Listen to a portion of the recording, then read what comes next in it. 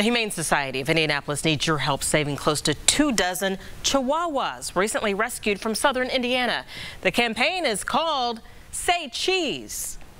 Indy Humane is raising $10,000 for the medical care of 23 dogs. The Chihuahua's background isn't clear. They may have been rescued from hoarding. But Indy Humane says the dogs need a lot of care, including basic dental work, spay and neuter surgery, and some more serious conditions. One has a leg that we think was broken in the past and kind of wasn't set properly at the time or fixed up, so we may have to do an amputation on that guy. So all of uh, the funds that come in will go toward their medical care and help us get them ready for adoption. As of this afternoon, donors have contributed more than $4,000 to the cause. The pups range in age from one to three years, and some are available for adoption immediately.